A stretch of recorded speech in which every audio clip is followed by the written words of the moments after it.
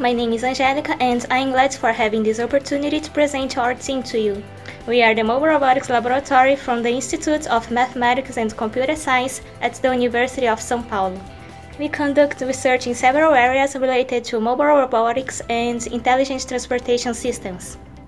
Since 2010, our lab has been focusing on researching about self-driving vehicles, which made us the pioneer of Latin America in navigating on public urban streets with a self-driving car, and also in developing the first autonomous truck.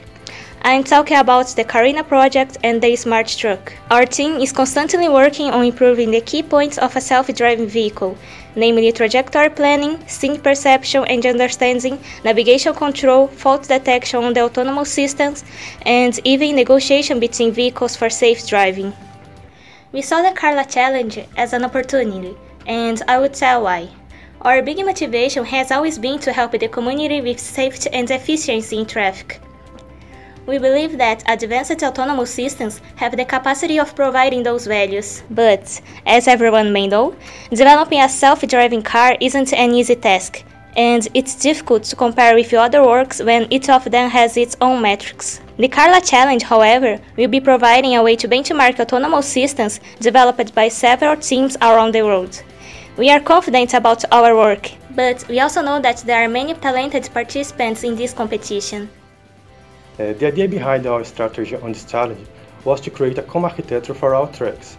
Of course, each track has a different set of sensors, which is a very challenging aspect on this competition. But talking about, talking about just the, the design of architecture, it is possible to create a common design and uh, change the, the, implementation of few components, keeping the communication interface. And it is what we did. So our architecture has four layers. Uh, we choose ROS for, uh, for framework because we already use it in Carina and the first layer is called agent, which is similar to sensor layer for autonomous vehicle, and it also communicates with the Carla. Then we have the perception layer, which is responsible for uh, traffic sign, traffic line detection and classification, and for obstacle detection. Finally, for navigation, we have the decision-making path planning layer, finished with the lateral and longitudinal controllers in the control layer. For the perception task, we use cameras and LiDAR sensors. We use point clouds coming from LiDAR scans and stereo vision ELAS algorithm. Obstacle detection is performed by both static and on-road obstacles. We model their behaviors and movements. Finally, synthetic images provided by Carla Simulator were collected for training, validation, and testing for this system.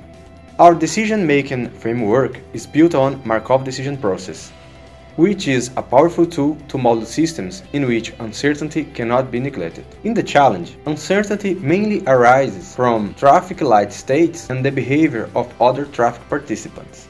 In order to simplify our model, we only consider longitudinal actions, follow a reference speed, accelerate or decrease speed. The decision-making model generates a reference speed that is passed to the low-level control, which is responsible to generate throttle and brake commands. To do so, we use a proportional integral control. For the lateral control, our agent uses a non-linear predictive module control. Constraints are added in order to respect the kinematic limits of the vehicle. The performance of our controller is mainly verified at sharp corners where collisions with guardrails and sidewalk invasion are avoided, and also at high speeds, where the vehicle stays at the global route with low lateral deviation. We are here to seek the first place, and not less important, to learn with the others.